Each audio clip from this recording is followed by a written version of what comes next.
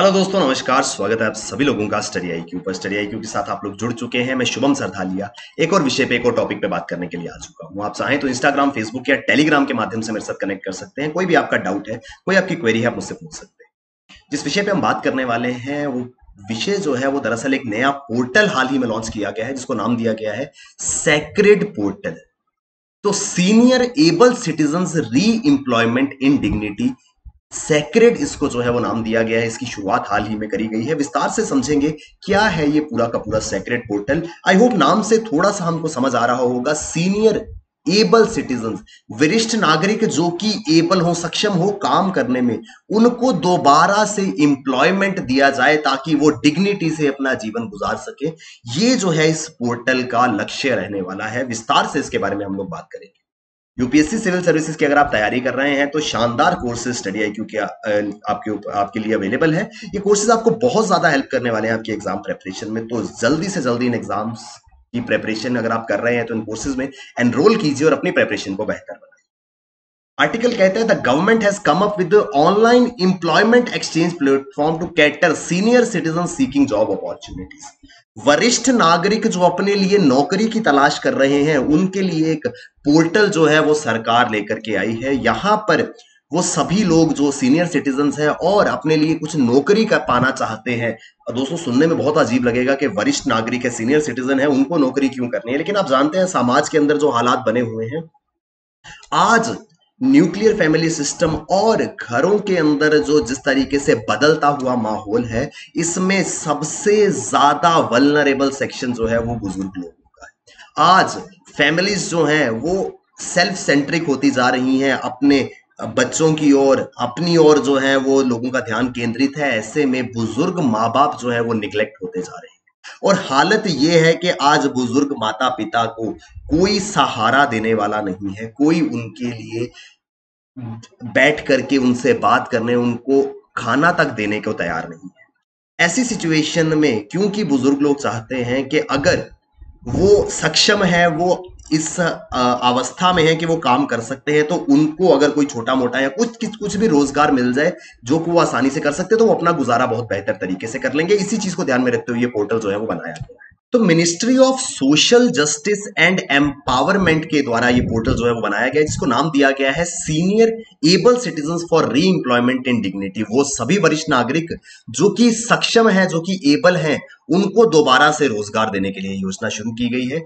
इस तरीके का पोर्टल है job portal for senior citizen and electronic employment exchange for senior citizen इसको हम इंप्लॉयमेंट एक्सचेंज की तरह समझ सकते हैं। यानी कि जिन लोगों को रिक्वायरमेंट है जॉब की, वो इस पोर्टल पर रजिस्टर करेंगे। प्लस जॉब गिवर्स जो है, वो यहाँ पे आके चेक कर सकते हैं कि कौन व्यक्ति उनके रिक्वायरमेंट के अनुसार फिट है और दोनों को एक डिमांड और सप्लाई का मैच जो है वो मिल सकता है जॉब सीकर को भी और जॉब गिवर को भी। लेकिन डिफरेंस ये होगा कि ये पोर्टल जो है वो केवल वरिष्ठ नागरिकों के लिए होगा। हर साल आप जानते हैं फ़र्स्ट अक्टूबर को international day of older person जो है वो मनाया जाता है। वृद्ध व्यक्तियों का अंतरराष्ट्रीय दिवस जो है वो प्रत्येक वर्ष एक अक्टूबर को मनाया जाता है। Citizens above 60 years of age can register on the portal and find jobs and work opportunities. 60 वर्ष से अधिक आयु के नागरिक जो है, वो इस पोर्टल पे जाके पंजीकरण पंजीकरण अपना करा सकते हैं और अपने लिए रोज़गार जो है, वो ढूंढ सकते हैं तो यहाँ पर उनको बहुत ज़्यादा हेल्प मिलने वाली है the employment portal will not only serve the senior citizen seeking employment but also the employer the self-help group the senior citizens gaining skills and other agencies or individuals सिर्फ़ और सिर्फ़ सीनियर सिटीजन ही नहीं जो job seekers हैं वही नहीं जो job givers भी हैं जो सेल्फ हेल्प ग्रुप्स हैं जिनको ज़रूरत है लोगों को लोगों की काम के लिए या कोई भी अन्य एजेंसी उनके लिए ये एक बहुत इंपॉर्टेंट पोर्टल जो है वो रहने वाला है an amount of rupees 10 crore would be provided for funding for the platform development सरकार की ओर से 10 करोड़ रुपए की राशि जो है वो इस प्लेटफॉर्म को विकसित करने के लिए डेवलप करने के लिए दी जा रही है। उसके अलावा प्रति वर्ष अगले पाँच साल तक दो करोड़ रुपए प्रति वर्ष जो है सरकार देगी, यानी कि कुल बीस करोड़ रुपए की लागत इसमें आने वाली है। दस करोड़ रुपए जो है वो सरकार की ओर से इसके विकास के लिए, डेवलपमेंट के लिए, इस पोर्टल को बनाने के लिए दिए जाएँगे, जबकि अगले पाँच साल तक प्रत्येक वर्ष में दो करोड़ रुपए सालाना जो है वो सरकार इस पोर्टल के रख रखाव के लिए जो है वो देने वाली है।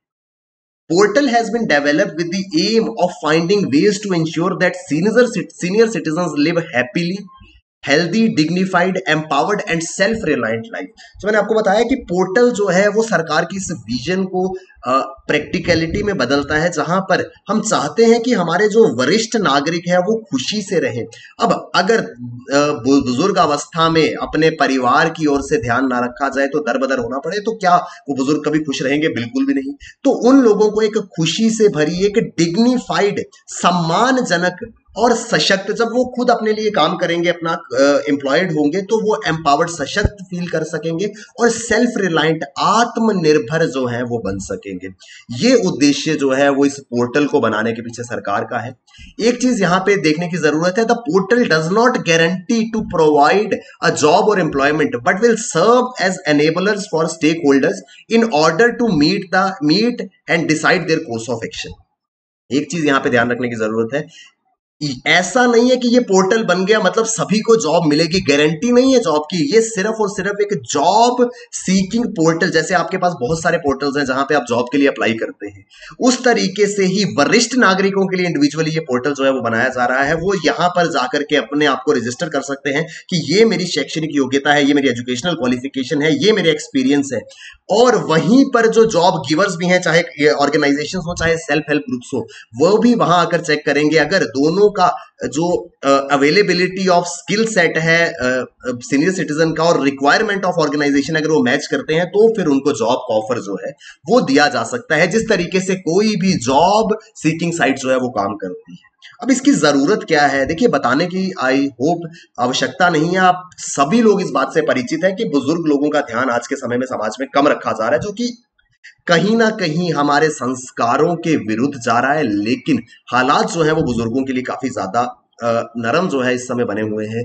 बुज़ुर्गों की पॉपुलेशन जनसंख्या जो है वो निरंतर बढ़ती जा रही है। परिवार के लोग या तो जानबूझ करके टाइम नहीं दे रहे हैं, क्योंकि वो अपनी लाइफ में बिज़ी हैं, या फिर going to the lifestyle today आज शायद लोगों के पास इतना समय ही नहीं है क्योंकि उनके जॉब है और अपनी फैमिली रिस्पॉन्सिबिलिटीज है, उनको इतना समय नहीं मिल पाता कि वो अपने बुज़ुर्ग माता पिता जो है, उनका ध्यान रख सकें या उनके लिए जो है वो केयर कर सके। इस वजह से वो लोग निग्लेक्टेड फील करते हैं और मोस्ट ऑफ़ द केसेस में वो दर बदर होने पे मजबूर हो जाते हैं। इसी वजह से एल्डरली पॉपुलेशन जो है हिंदुस्तान में इंक्रीज कर रही है। इसी चीज़ को ध्यान में रखते हुए इस प्रॉब्लम को एड्रेस करने के लिए पोर्टल जो है वो शुरू किया गया है।